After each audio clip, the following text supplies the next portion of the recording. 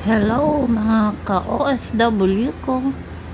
Nandito po kami ngayon sa London kasama ng boss ko. Dinalaw po namin yung magandang place sa London.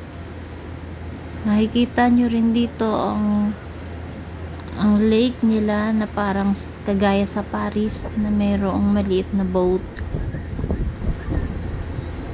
Ah, it's a way of their transportation also. Ayan po.